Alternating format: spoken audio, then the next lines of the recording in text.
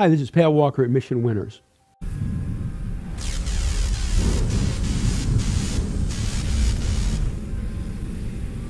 You know what? You're looking at the markets, and here it is Halloween. Hope you're all going to have a great Halloween. Get a lot of candy, eat a lot of candy. Candy's good for you. Candy's got sugar in it. Sugar's roughage, okay? It's granular. I can uh, beer. Beer is great for you. Beer's just like Raisin Bran. Contains hops, malt, and barley. Three grains. It's all great, you know. I can rationalize myself through anything. So what are we doing right here?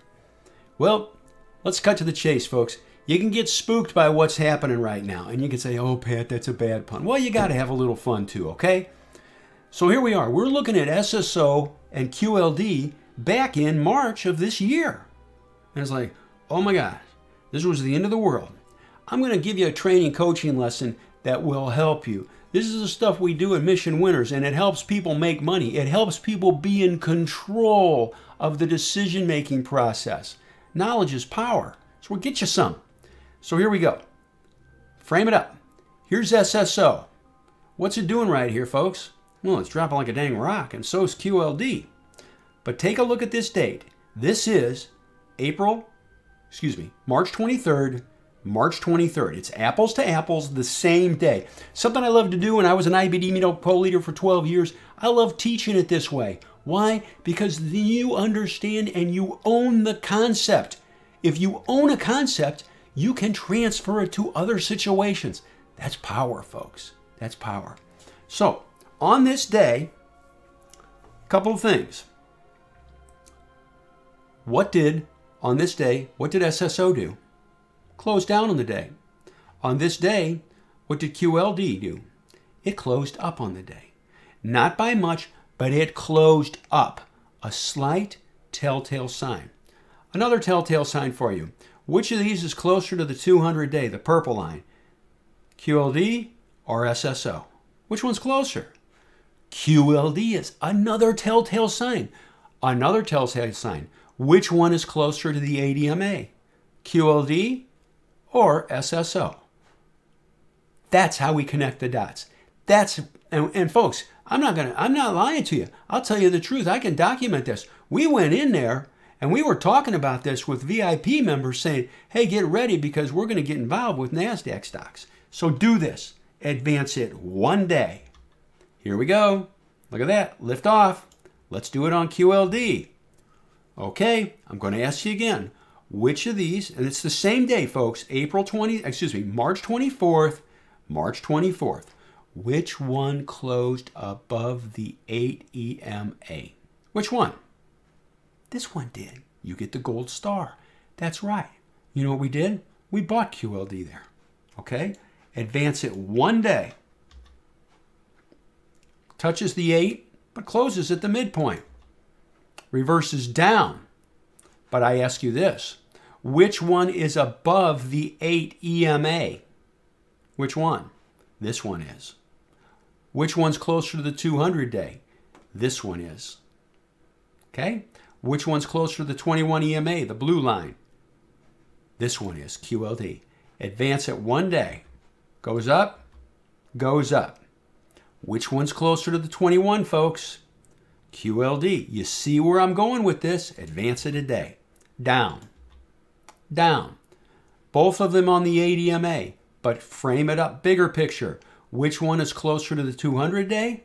Which one's closer to the 21? Advance it one day. Oh, take it a step further. Both of them came down to the ADMA. Tell me about the volume on SSO and then tell me about the volume on QLD.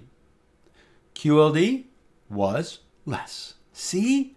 That's connecting the dots. Advance it one day. Lifts up. Advance it a day. Lifts up. Right there. Which one's closer to the 21? This is. Advance it. Down. Down. Which one touched the 21 EMA? This one did. So far, QLD is still exhibiting strength, and that was why we bought it, folks. All right? Watch this. Down. Down. Both of them lost the ADMA. You can say, oh, they're both really bad. Folks, you got to dig deep. Check it out. Which one fell on increasing volume on this day? Which one fell on less volume on this day? QLD. They both have a higher low. But which high or low is stronger? This one is. It's closer.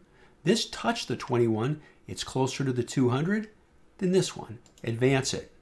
Higher low, higher low. Pick up in volume on both, both of them at the 8, okay? But we do know from our discussion, this is stronger. Here, here. Which one closed down on this day on a pickup in volume? And this isn't rocket science, and this isn't tearing it apart. It's just looking at the chart. You got a higher low on both of them. Which higher low is stronger? This one is because it's closer to the 200 day. That's what we're looking for. You know what we're looking for here too? MaxList stocks. Up, up. Both of them through the 21.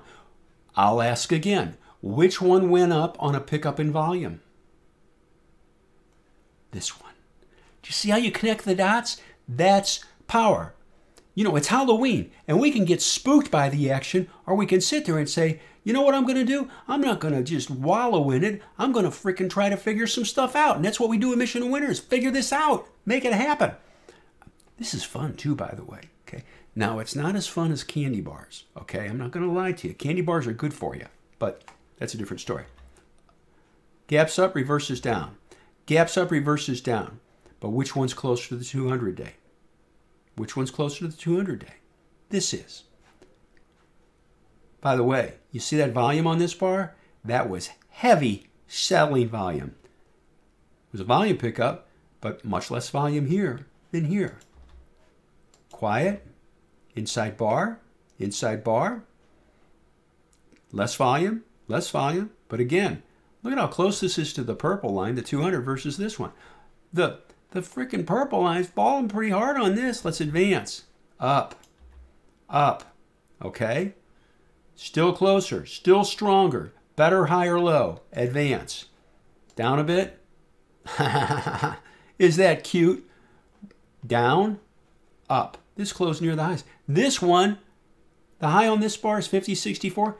This bar took out the previous bar. This one fell below the lows. Advance. Gaps up. Okay, proof in the pudding. Which one is now above the 200 day? QLD. Advance. Down. Down. Hovering the 200.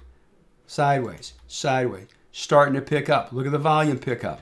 Picking up. Picking up more. Picking up. Down. Down a bit. Down. Down.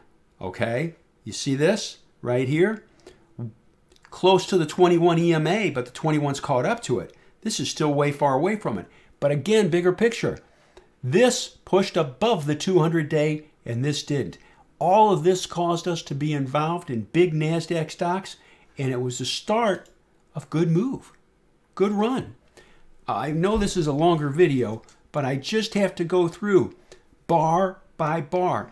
Again, at the IBD meetup, this is what we did. We go through this. We showed people what to look for price and volume, open, high, low, close. I'm telling you what, you do that and you are ready to control, control your portfolio, control your decisions, and that's power. Just framing it up gets the moving averages. So, hocus pocus, you know, we can be spooked or we can analyze it, be better than the others, and take action. Thank you for watching the video. We hope you enjoyed it. If you did, please hit like. Maybe hit that subscribe button. We come up with new content nearly every day. Also, check out the videos on the right. YouTube recommends the one on the top, and the bottom one is something we thought you might enjoy. See you next time.